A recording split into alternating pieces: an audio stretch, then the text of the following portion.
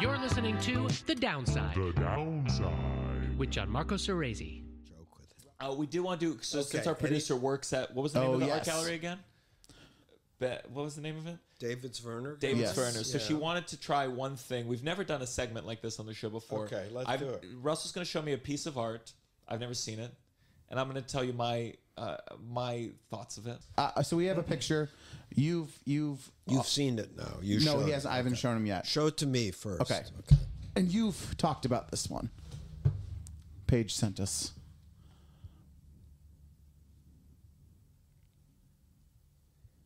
Thrilling podcast audio for all the listeners out there. Yeah, you trim this out. No, no, trimming. Is, Yeah. Okay. Um, So I'm going to show you, okay. And you can just offer.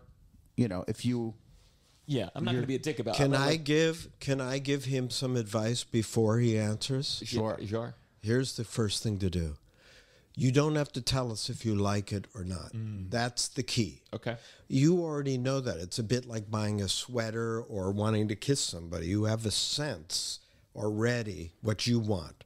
But that part doesn't matter to me. What I'm interested in only is what you see Great. and how you see it. okay, and you'll put it up on the video for people so Yeah, they can I'll, I'll see it. Take a look at it. right Yeah. here. No, no, no. But like, well, no, you'll physically, you'll just put it. the Yeah, thing- yeah, That, yeah, that's what. Yeah. Um, Get quiet inside and just look around. Just look around. He's shaking. Drop his your head yeah. no. Let it Yeah. let it happen. listen, Drop. let me do it on my own. I understand. Yeah. I was an actor. I know. I've He's done, right. I've done all the things.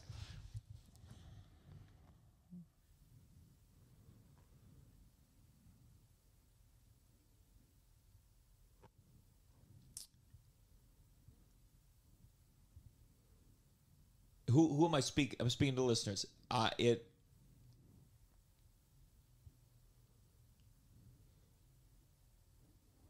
I see a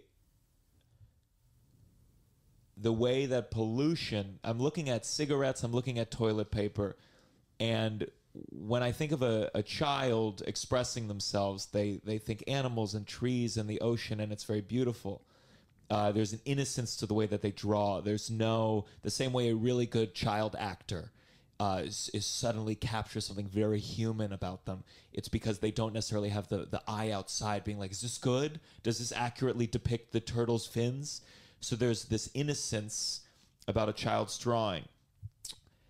And normally, I, I don't think of a child as drawing about pollution. A child uh, sees the world, uh, sees the beauty. The beauty stands out more. They're not thinking about the, the global warming or where is the ocean going or are turtles able to survive.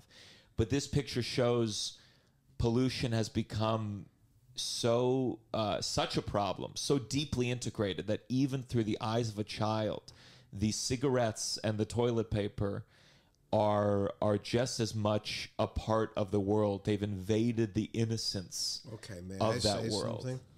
That's one of the most beautiful reviews of the work of Katherine Bernhardt that I've heard. It is remarkable that you got to that level that quickly. Your listeners, I'm afraid, can't see this, but if you are watching it, yes, it looks very beautiful, exotic, like it come from the South, you know, the South Pacific. But he saw, even then, through the childlike graffiti, schmeary, pr- spray paint, junk thing, and you saw to a deeper content that many, many reviewers haven't. So I would say. You're not a cynic. Oh, you're just fine. See? You love. You're listening to The Downside The downside. with Gianmarco Soresi.